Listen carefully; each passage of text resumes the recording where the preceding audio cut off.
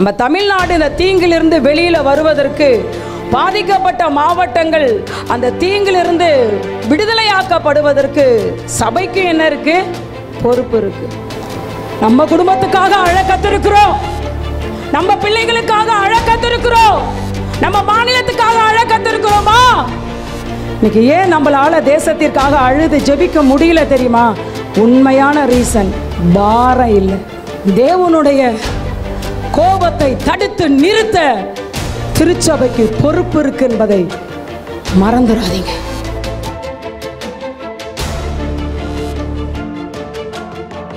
YONO திருக்க தரிசன புஸ்தகம் அதில் நான்காம் அதிகாரம் ரெண்டாவது வசனத்தின் பிந்திய பகுதி சொல்லுகிறது. யோனா ஆண்டவரை பார்த்து பேசுறாரு. ஆண்டவரே நீர் இரக்கமும் மன உருக்கமும் நீடிய சாந்தமும் மிகுந்த கிருபை உள்ளவரும் தீங்குக்கு மனஸ்தாபப்படுகிறவருமான தேவன் என்று நான் அறிவேன். தீர்க்கதரிசியாகிய யோனா தேவனை குறித்து அறிந்திருந்தாரு. என்ன அறிந்திருந்தாரு? நான் என்னுடைய தேவனாகிய நீர் தீங்குக்கு மனஸ்தாபப்படுகிறவர். தீங்கை பார்த்து வேடிக்கை பார்க்கிறவர் அல்ல நம்முடைய தேவன். தீங்கை பார்த்து ரசிக்கிறவரோ வேடிக்கை பார்க்கிறவரோ அல்ல நம்முடைய தேவன். தீங்குக்காக மனஸ்தாபப்படுகிற தேவன். அப்போ நீங்கள் உங்கள் நம்ம உள்ளத்தில் கேள்வி வரணும். அப்போ தீங்குக்காக மனஸ்தாபப்படுகிறவர்னா அப்போ ஏன் இன்னைக்கு மனஸ்தாபப்படலை? ஒருவரும் கெட்டு போவது தேவனுக்கு சித்தம் அல்ல சாகரனுடைய சாக நான் விரும்பலங்கிறாரு. துன்மார்க்கன் மறிக்கிறது கூட எனக்கு பிரியமில்லைன்னு சொல்கிறாரு அப்போ தேவன் தீங்குக்கு மனஸ்தாபப்படணும்னா என்ன நடக்கணும்? சபைக்கு உத்தரவாதம் இருக்கு. ஒரு நெருக்கம் ஒரு தீங்கு ஒரு மாநிலத்துக்கு ஒரு தேசத்துக்கு வரும்பொழுது கர்த்தருடைய கண்கள் யாரை பார்க்குது தெரியுங்களா? மனிதருடைய கண்கள் அதிகாரிகளை பார்க்கிறது. கலெக்டர்களை பார்க்கிறது. ஆபத்தில் உதவி செய்யக்கூடியவர்களை பார்க்கிறது. பாதிக்கப்பட்டவர்கள் உதவி செய்யக்கூடிய அதிகாரிகளை நோக்கிறார்கள். கர்த்தர் யாரை பார்க்குறாரு? ஒரு தேசத்தில் ஒரு பாதிப்பு ஒரு மாநிலத்தில் ஒரு தீங்கு நெருக்கம் வருதுன்னா ஆண்டவர் யாரை பார்க்கிறார்? அப்படின்னு அதே எஸ்ஐக்கள் திருக்க தரிசன புஸ்தகம் இருபத்தி ரெண்டாம் அதிகாரத்தில் நாலு கூட்டங்களை கர்த்தர் பார்க்கிறார்.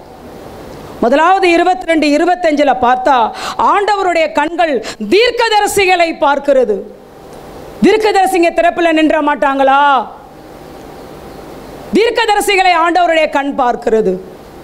இருபத்தி ரெண்டு இருபத்தி ஆறில் ஆசாரியர்களை கர்த்தருடைய கண் பார்க்கிறது. எனக்கு ஊழியம் செய்கிற சபை மேய்ப்பார்கள் நான் தேசத்துக்காக மனஸ்தாபப்பட அவங்க ஏதாவது செய்ய மாட்டாங்களா? அப்படின்னு ரெண்டாவது ஆண்டவருடைய கண்கள் ஆசாரியர்களை பார்க்கிறது. இருபத்தி ஏழாவது வசனத்தை பார்த்தீங்கன்னா ஆண்டவருடைய கண் பிரபுக்களை பார்க்கிறது. யாராவது தாவீதை போல தானியலை போல எசைக்கா ராஜாவை போல எழும்பிட மாட்டாங்களா? இருபத்தி ஒன்பதாவது வசனத்தை பார்ப்பீங்கன்னா ஆண்டவருடைய கண் தேசத்தின் ஜனங்களை பார்க்கிறது. நாலு கூட்டத்தை பார்க்குறாரு. முதலாவது யாரை பார்க்குறாரு? தீர்க்கதரிசிகள். தீர்க்கதரிசிகள்னா யாரு? தேவனுடைய வாயை போல இருக்கிறவர்கள். தேவனுடைய பிரதிநிதி. தேவனுக்கு பதிலாக இவர்கள் ஜனங்களோடு பேசுகிறவர்கள் தீர்க்கதரிசிகள். அடுத்து இந்த ஆசாரியர்கள் என்ன பண்றாங்க? ஆசாரியர்களை பார்க்கிறது. மூன்றாவது இந்த லீடர்லாம் என்ன பண்றாங்க? பிரபுக்களை பார்க்கிறது. நாலாவது ஜனங்களை பார்க்கிறது. ஹலோ லூயா ஆனால் இந்த நாலு பேருமே செயல்படலைன்னு அந்த எசைக்கேல் தீர்க்கதரிசி எழுதுகிறார். எசைக்கேல் இருபத்தி ரெண்டு முப்பது பாருங்க. நான் தேசத்தை அழிக்காதபடி திறப்பிலே நிற்கவும் சுவரை அடைக்கவும் தக்கதாக ஒரு மனுஷனை தேடினேன். இந்த நாலு குரூப்ல ஒருத்தர் கூட இல்லை. தீர்க்கதரிசியும் உத்தரவாதத்தை உணரலை. ஆசாரியர்களும் உத்தரவாதத்தை உணரலை. பிரபுக்களும் உத்தரவாதத்தை உணரல ஜனங்களும் உத்தரவாதத்தை உணரல.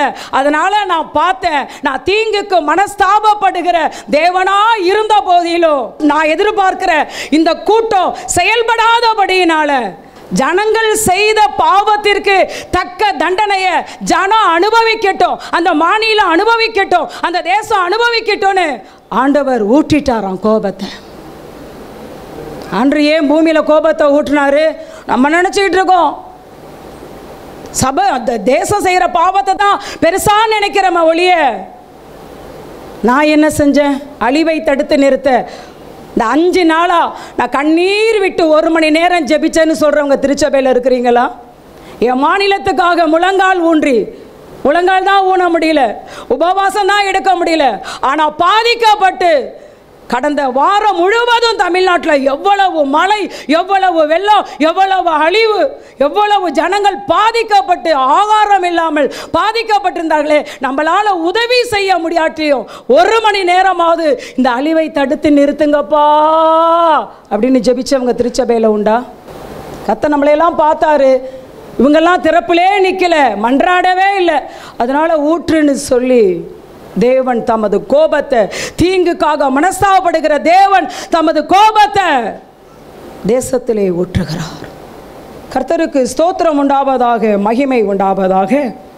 தேசத்தில் தீங்கு வரும் பொழுது அழிவு வரும் பொழுது நெருக்கம் வரும் பொழுது தேவன் அந்த தீங்குக்காக மனஸ்தாபப்பட்டு அந்த தீங்கை தடுத்து நிறுத்த சபை என்ன செய்ய வேண்டும்னு சொல்லி தியானிக்க போகிறோம் ஜீசஸ் முதலாவது சபை என்ன செய்யணும் தெரியுங்களா?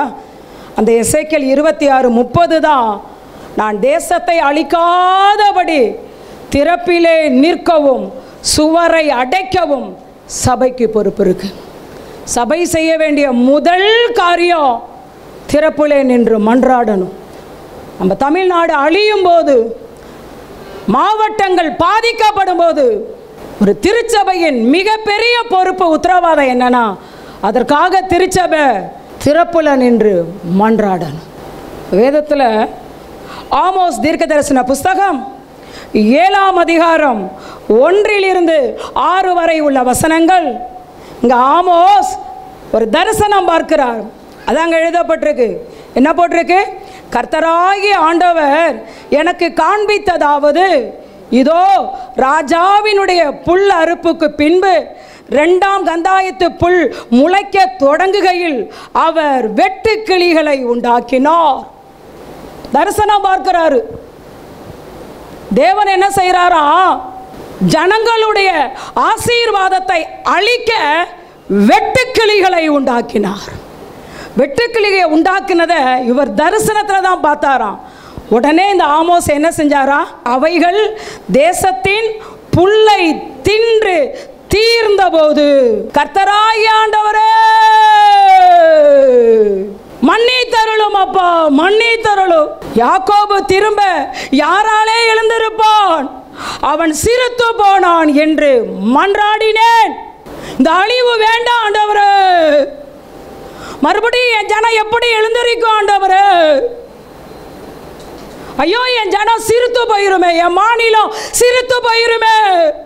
என் தேசம் ஏற்கனவே கொள்ளை நோயினால சிறுத்து போயிருக்கு. மீண்டும் மீண்டும் அழிவு மழை வெள்ளம் காற்றழுத்த தாழ்வு மண்டலம்னு வந்தா ஐயோ என் மாநிலம் சிறுத்து போயிருமே. ஆமாஸ் தீர்க்கதரிசி அழுவுறான் பாருங்க. ஐயோ யாக்கோபு எப்படி எழுந்திருப்பான்? ஐயோ யாக்கோபு சிறுத்து போயிருவாடே மன்னிங்க ஆண்டவர். தீமையை தடுத்து நிறுத்துறாரு பார்த்தீங்களா மூணாவது வசனம் என்ன போட்டிருக்கு? கர்த்தர் அதற்கு மனஸ்தாபப்பட்டு அப்படி ஆவதில்லை என்றார். ஆமோஸ் மட்டும் அங்க நிக்கலனா பெரிய அழிவு வந்திருக்கும். நம்ம குடும்பத்துக்காக அழ கத்திருக்கிறோம் நம்ம பிள்ளைகளுக்காக அழ கத்திருக்கிறோம் நம்ம மாநிலத்துக்காக அழ கத்திருக்கிறோமா பாதிக்கப்படுற சமுதாயத்தின் தீங்க தடுத்து நிறுத்த அழ கத்திருக்கிறோமா ஆண்டவர் ஏன் நெருக்கத்திலிருந்து விடுதலை கொடுக்கணும்? கடன்ல இருந்து விடுதலை வியாதியிலிருந்து விடுதலை பிரச்சனையிலிருந்து விடுதலை. எஸ் ஆண்டவர் நம்மையும் நெருக்கத்திலிருந்து விடுதலையாக்குறவராக இருக்கிறார். அதே நேரத்தில் திருச்சபை மாநிலம் தேசம் பாதிக்கப்படும் போது அந்த நெருக்கத்திலிருந்து மாநிலம் வெளியில வர திருச்சபை ஜபிக்குதான்னு அதையும் பார்க்கிறவராய் இருக்கிறார். நிற்கிறார் பார்த்தீங்களா ஆமோஸ். யாக்கோபு திரும்ப யாரால் எந்திரிப்பான் ஆண்டவர்? அவன் சிறுத்து போனான் என்றேன். அதற்கு ஆண்டு என்ன செஞ்சிட்டாரா? தீங்குக்கு மனஸ்தா யாருனால மனஸ்தாவப்பட்டார் ஆமோஸ். மனஸ்தாவப்பட்டு என்ன செய்யணும் என்ன சொன்னாரா? அப்படி ஆவதில்லை அப்படி ஆவதில்லை தேவனுடைய கோபத்தை தடுத்து நிறுத்த திருச்சபைக்கு பொறுப்பு இருக்கு என்பதை மறந்துடாதீங்க நாலாவது வசனம் பாருங்க. கர்த்தராகிய ஆண்டவர் எனக்கு காண்பித்ததாவது இதோ இதோ அக்னியாலே நியாய விசாரிப்பேன். ஃபர்ஸ்ட் வெட்டுக்கிளியால கொரோனா போல வெட்டுக்கிளியால ரெண்டாவது அக்னியினாலே நியாய விசாரிப்பேன் என்று கர்த்தராகிய ஆண்டவர் ஏற்பட்டார். அது மகா ஆளியை பட்சித்தது. அதில் ஒரு பங்கை பட்சித்து தீர்ந்தது. ஒரு பக்கம் அழிஞ்சிருச்சு. அப்பொழுது நான் என்ன செஞ்சேன்? சொல்கிறார் பாருங்க, அப்பொழுது நான் கர்த்தராகிய ஆண்டவரே நிறுத்துமே. யாக்கோபு திரும்ப யாராலே எழுந்திருப்பான் ஏற்கனவே வெட்டக்கிளி மீண்டும் அக்கினி அனுப்புறங்கிறீங்களா ஆண்டவரே. யாக்கோபு யாராலே எழுந்திருப்பான் அவன் சிரித்து போனான் என்றேன். எவ்வளோ பாரம் உள்ள ஜெபம் பார்த்தீங்களா? எவ்வளோ கர்ப்ப வேதனையின் ஜெபம் பார்த்தீங்களா? எவ்வளோ பாதிக்கப்பட்டு ஜெபிக்கிறார் பார்த்தீங்களா? ஆண்டவரே நிறுத்துமே. ஆறாவது வசனம் என்ன போட்டிருக்கு? கர்த்தர் அதற்கு மனஸ்தாபப்பட்டு அப்படி அப்படி ஆவதில்லை என்றார். என் அன்பு தேவ ஜனமே இன்னைக்கு சபைக்கு யார் தேவை தெரியுங்களா? தீங்கை தடுத்து நிறுத்த தேவன் தீங்குக்காய் மனஸ்தாபப்படுகிற அளவுக்கு ஜெபிக்கிற ஆமோஸ்கள் திருச்சபைக்கு தேவை. பாரமெடுத்து ஜெபிக்கிற மோசேக்கள் திருச்சபைக்கு தேவை. கண்ணீரோடு ஜெபிக்கிற எரேமியாக்கள் சபைக்கு தேவை. ஜீசஸ். எரேமியா சொல்றார் பாருங்க எரேமியா ஒன்பது ஒண்ணுல ஆ என் தலை தண்ணீரும் என் கண்கள் கண்ணீர் ஊற்றுமானால் நலமாயிருக்கும். அப்பொழுது என் ஜனமாகிய குமாரத்தி கொலை உண்ண கொடுத்தவர்களின் நிமித்தம் இரவும் பகலும் அழுவேன். இயேசு கேட்டார் என்னை ஜனங்கள் யார் என்று சொல்லுகிறார்கள்? உம்மை எரேமியா என்று சொல்லுகிறார்கள். ஏன் எரேமியான்னு சொன்னாங்கன்னா ஆண்டவர் கண்ணீர் விட்டு ஜெபிக்கிறவர் எரேமியாவும் இரவும் பகலும் ஜனத்திற்காக கண்ணீர் விட்டு ஜெபிக்கிறவர். அதனால தான் கேட்கிறார் ஆண்டவரே ஆ என் தலை தண்ணீரும் என் கண்கள் கண்ணீர் ஊற்றுமானால் நலமாயிருக்கும் அப்ப நான் என்ன செய்வேனா என் ஜனத்துக்கு வருகிற என் ஜனம் அனுபவிக்கிற அந்த அழிவு தடுத்து நிறுத்தப்பட இரவும் பகலும் கண்ணீர் வடிப்பேன். இன்னைக்கு பிரசங்கத்தை கேட்கிறவர்கள் ஆண்டவருக்கு தேவையில்லை. பிரசங்கத்தை கேட்டு எனக்கு அந்த கிருபையை தாங்கப்பா. கண்ணீர் விட்டு ஜெபிக்கிற கிருபையை தாங்க. பாதிக்கப்பட்டு ஜெபிக்கிற கிருபையை தாங்க. அழிவை தடுத்து நிறுத்துகிற அப்படி ஜெபிக்கக்கூடிய அந்த கிருபையை தாங்கன்னு மன்றாடக்கூடிய சனங்கள் தேவை. ஹலேலூயா நம்ம அப்படி கண்ணீர் விட்டு ஜெபிக்கும்போது தேவன் தீங்குக்காக மனஸ்தாபப்பட்டு அதை தடுத்து நிறுத்துகிறவராய் இருக்கிறார் கர்த்தருடைய இருதய துடிப்பை அறிகிற உள்ளம் இன்னைக்கு நமக்கு வேணும். இன்னைக்கு ஏன் நம்மளால் தேசத்திற்காக அழுது ஜெபிக்க முடியல தெரியுமா? உண்மையான ரீசன் பாரம் இல்லை. அதான் நம்மளால் அழ முடியல. இன்னைக்கு கேளுங்க இயேசுவே கண்களை மூடுங்க. கேளுங்க அப்பா என்னுடைய பொறுப்பை இன்னைக்கு நான் உணர்றேன் ஆண்டவர். தேசத்தில் சமுதாயத்தில் ஒரு அழிவு தீங்கு நெருக்கம்னா எனக்கும் பொறுப்பு இருக்குது வெறும் சிஎம்முக்கு மட்டும்தான் பொறுப்புன்னு இல்லை சபையாய நமக்கும் பொறுப்பு இருக்குது கர்த்தருடைய கண் நம்மை பார்க்குது. என்னன்னு கேட்டால் அழுது. என் பாதத்தில் விழுந்து அழுது. சபை ஜெபிக்காதா? ஆண்டவரே கேளுங்க. ஆ, எரேமியாவை போல மோசையை போல ஆமோசை போல அப்பா அழிவை தடுத்து நிறுத்த ஆண்டவரே கண்ணீரோடு தேவ சமூகத்தில் விழுந்து ஜெபிக்கிற அந்த கிருபையை எங்களுக்கு தாங்க. கர்த்தர் தாமே உங்களை ஆசீர்வதிப்பாராக. ஆமேன் ஆமேன். இந்த நிகழ்ச்சி உங்களுக்கு ஆசீர்வாதமாக இருந்திருக்கும் என நம்புகிறோம்.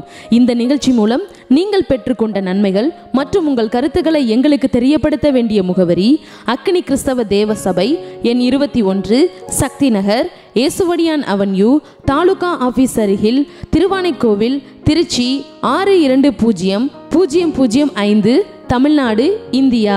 ஜெபம் மற்றும் ஆலோசனைக்கு தொடர்பு கொள்ள வேண்டிய தொலைபேசி எண்கள் ஒன்பது ஏழு எட்டு எட்டு ஐந்து நான்கு ஆறு ஐந்து ஆறு எட்டு மற்றும் ஒன்பது எட்டு நான்கு இரண்டு ஆறு பூஜ்ஜியம் ஐந்து ஒன்பது ஒன்று பூஜ்ஜியம். மின்னஞ்சல் முகவரி FCM prayer tower at Gmail dot com எங்களது இணையதளம் W W W dot fire Christian ministries dot O R G